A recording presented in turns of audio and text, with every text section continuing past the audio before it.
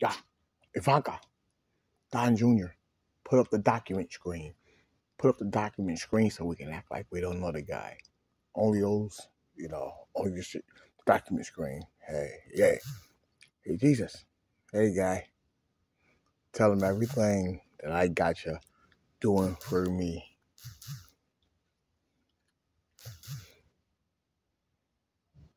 Now, I have as plenty of Marys as I want.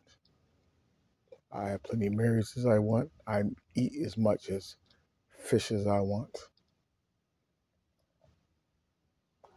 And now I pray to Mr. Trump instead of myself, instead of a dad that I don't even know. At least I can see Mr. Trump. And if you don't be rich out here, if you don't be rich and you don't bow to gods like Mr. Trump, life is not worth living. Because you won't have any caviar. Then you won't have to turn any water into wine or wine into water.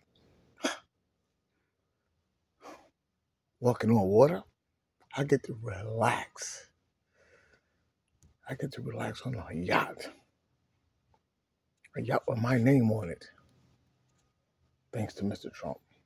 Now, I don't have to go around pretending or anything like that.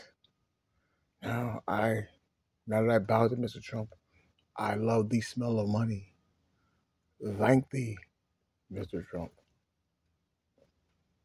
You're very welcome, Jesus. It just goes to show.